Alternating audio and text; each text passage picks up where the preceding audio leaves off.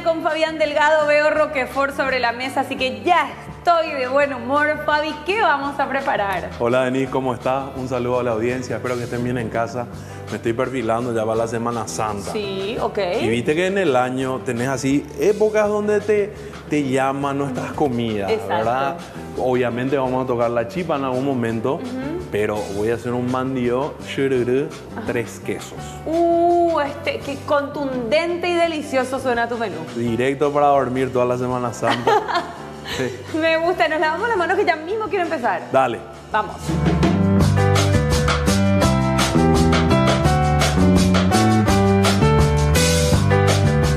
Manos limpias y empezamos. A mí me gusta ponerle una base de cebolla. Ok. a los shirere, ¿sí? Elegí cebolla morada, además por el color que me va a agregar, ¿sí? Dale. Voy a cortar así para poder limpiarla. Ya voy prendiendo a temperatura media la sartén. Sí. Una sartén antiadherente va a facilitar las cosas. Bueno, y es una sartén de pensofal, que de hecho son las que siempre elegimos en el bloque de cocina por las cualidades antiadherentes y muchas otras características de las que Magda te habla a continuación. Encontrá en Gastrocenter la mejor marca italiana de ollas y sartenes Pensofal. Cuerpo de aluminio con revestimiento interior antiadherente Bioston Pro de 9 capas. Efecto piedra con revestimiento externo antiadherente, inalterable y fácil de limpiar. Ambos recubrimientos son totalmente a base de agua y libres de solventes dañinos. Vamos a cortar brunoise, Dale. bien chiquititos, ¿eh? Acuérdense que empezamos con arriba, cortamos no hasta el nudo, Sí. vamos por abajo, por el tamaño de la cebolla voy a cortar una vez. Si Sí, porque cebo- es pequeñita. Exacto, si la cebolla es grande, cortamos una, dos, hasta tres veces Dale. puede llegar, ¿sí? Empezamos entonces con la base de cebolla. Inmediatamente ya vamos a seguir con nuestra mandioca, ¿sí? La mandioca, Fabi, ¿tiene que estar recién hervida o puede ser una mandioca que haya sobrado de una comida anterior? Ay, yo te soy sincero, para mí las dos cosas también. Dale. ¿Sí? Eh, hay gente que prefiere lo de esa mandioca vieja o que salió y que sobró del asado Sí. porque tiene como más gusto. Ok. ¿Sí? Pero lo ideal es que se puedan cortar. Acá tengo esta mandioca. ¿Sí? Primero que nada, vamos a, a sacar el pabilo. Sí. Eso es lo que más me interesa, ¿sí? Controlo la temperatura de mi cebolla, que no se pase, ¿sí? Si tengo que poner en el mínimo, mínimo, ponemos. Yo quiero unos trozos grandes, ¿sí? Voy a cortar así, unos bastones largos. Y ahí voy a cortar unos cubos grandes. Si tu mandioca está demasiado blanda, no, hay que, digamos, este procedimiento hay que dejarlo más hacia el final. Ok. ¿Sí? Si está demasiado blanda. Entiendo. Y vamos a poner un poco más, porque si hago poco, No, los camarógrafos me van a matar después. Obvio, todos. ¿Sí? Estamos cocinando en Gastrocenter. De paso le cuento a la gente que aquí en el tercer piso, en su sala de experiencias, pueden probar todo el equipamiento necesario para cualquier tipo de emprendimiento gastronómico, un restaurante, por ejemplo. Y luego, en planta baja, están los asesores listos para comentarles todas las características y los costos de ese equipamiento. Así que ya saben, siguen a Gastrocenter en las redes sociales o pasan por su local de la avenida Eusebia Ayala. Nos centramos en cada particular, cuestionando decisiones firmes y buscando nuevos desafíos, más allá de la simple innovación. Diseñamos un horno que sabe cómo cocinar cualquier alimento, que te permite añadir tu toque de maestro a tus elaboraciones y poner tu firma en cada plato. Un horno inteligente que interpreta tus parámetros, traduce el resultado que tienes en mente. Detecta automáticamente la carga. Registra los cambios de humedad y temperatura y adecúa el proceso de cocción para que el resultado sea siempre perfecto.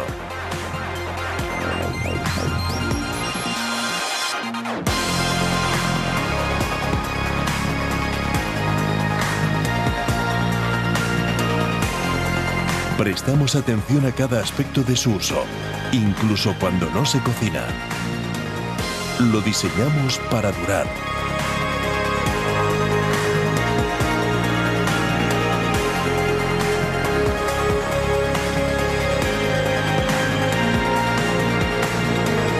resultado es Chef Top Mind Maps. Su conjunto perfecto está creado para perseguir un único objetivo. Ayudarte a construir tu propio éxito. Tenemos ya nuestra mandioca. Panceta. ¿Por qué no? Me gusta. No suele ponérsele, ¿verdad? Es como parte de la variación de este plato. Pero hay una variante. Ya no sé si es una cuestión, digamos, de ahora. Eh, mandi o shururu o. Que le ponen a veces algún que otro chorizo desmenuzado. Ah, bueno. Sí, hay una variedad. O carne molida, tipo picadillo. Sí, hay una. Muy bien, y en este caso, la panceta. Claro.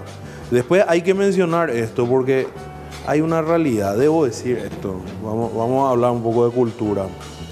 Nosotros en Paraguay no tenemos algo como una Biblia gastronómica. Tenemos sí unas matronas que, que hicieron los cimientos de lo que es la cocina paraguaya.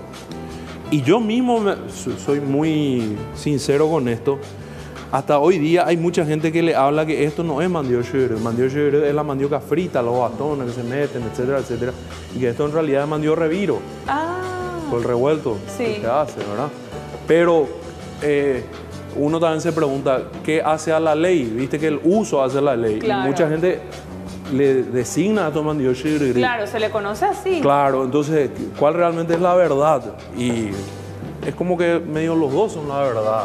Muy bien. Pero hay que decirlo eso porque de repente una gente, no, eso es tal cosa, no, eso es tal otra. Pero hay que saber decirle a la gente. Lo ideal sería que algún día tengamos en Paraguay una Biblia gastronómica Sí. que diga, esto es una chipa y estas son sus variantes. Claro. ¿verdad? Y además así protegemos nuestra comida, porque después somos muy sensacionalistas cuando vemos la choclotorta que sale en Argentina, pero deberíamos cuidarnos a nosotros desde adentro también. Hagamos una Biblia un día que diga, esto es un chipaguazú, Claro. esto es un bellú, estas son sus variantes. Pero ahora me voy a callar y vamos a seguir con esto porque Denise tiene hambre. Le estoy así con mis rayos láser. Sí. Ya está la panceta. Dale. La panceta se va a cocinar, ahora ya subí la temperatura. ¿Sí? Quiero que se empiece a dorar esto. Acá va uno de mis truquitos. Dale. ¿Sí? El queso y la mitad de los huevos yo pongo en una tanda. Ok. Espero que se vaya derritiendo esos huesos y esos huevos se, se coagulen. ¿Sí? Después la otra mitad de los huevos pongo al final. Ah, Porque a mí me gusta ese mandillo creo que es medio cremosito todavía. húmedo, digamos. Entonces, ¿cómo logras eso? Poniendo los huevos en partes, digamos, diferentes. Si vas a hacer un mandillo de dos huevos, pones uno primero, mezclas y después pones otro al final. Y con ese calor que queda, que se cocine. Genial. Este es un queso paraguay, el primer queso que vamos a meter. Exacto. Eh, sí o sí, queso paraguay. Sí. Tiene que. Entonces, unos buenos cubos. Vamos con todo este queso. Pecaminoso. Y acá ya vamos con el calor, ¿verdad? Que tenga esta preparación. Vamos a ir mezclando, ¿sí?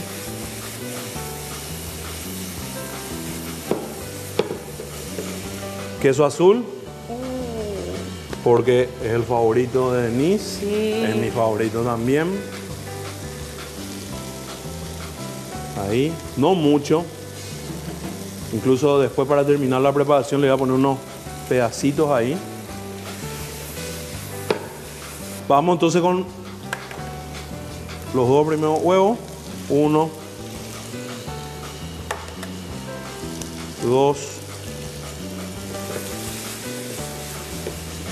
Dejamos ahí. Vamos con un toque de pimienta.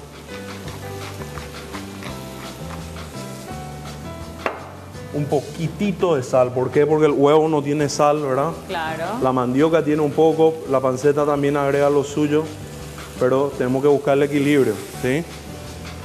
Y ahora me ayudo. Con una cuchara de madera voy a empezar a mezclar bien, ¿sí?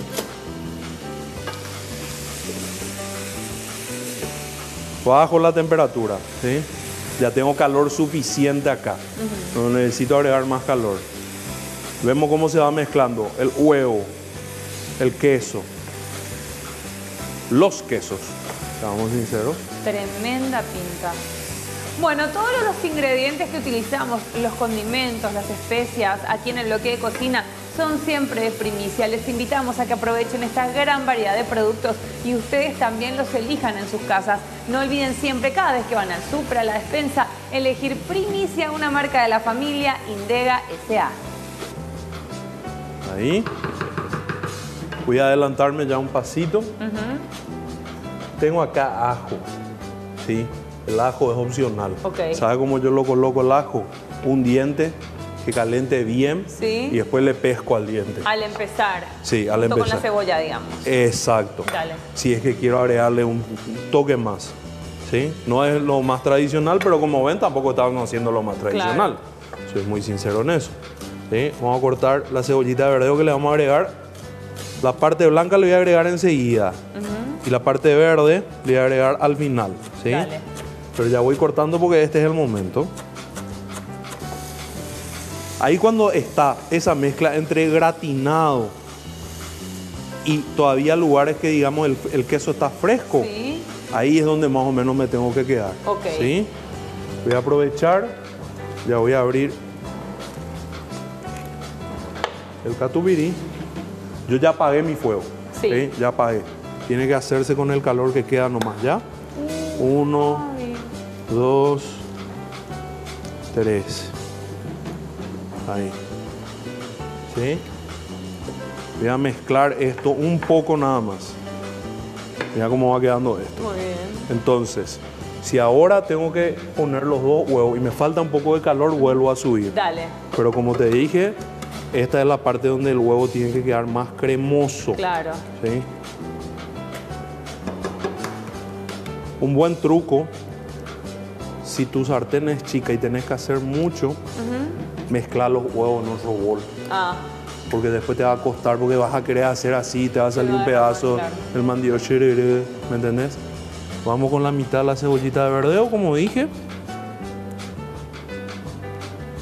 Y vamos a empezar a liberar nuestra tabla para emplatar, ¿sí?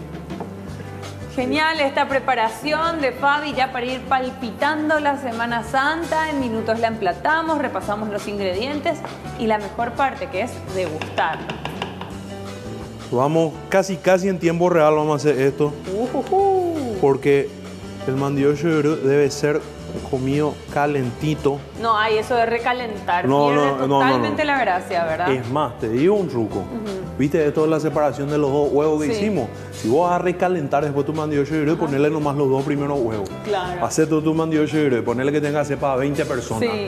Porque van a venir tus tu, tu parientes del Sí, interior, y tienen que cocinar probar. mucho. Y hacer nomás hasta los dos primeros huevos. Y ahí deja, y después, ah, ahora van a venir, ya van a comer los últimos huevos al final y ahí, y ahí recalentar.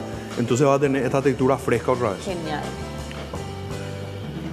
Vamos ahí. Un poema.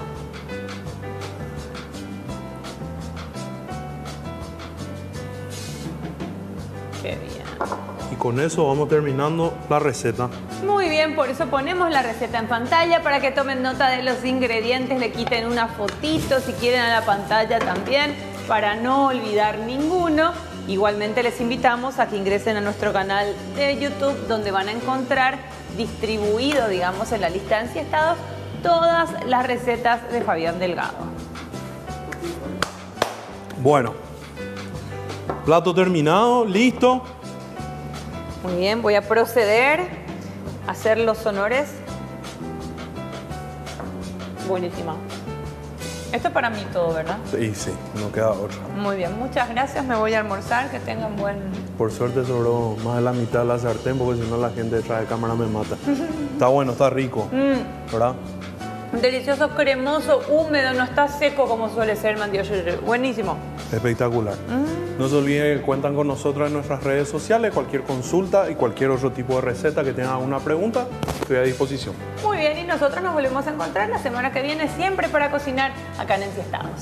Que estén bien en casa.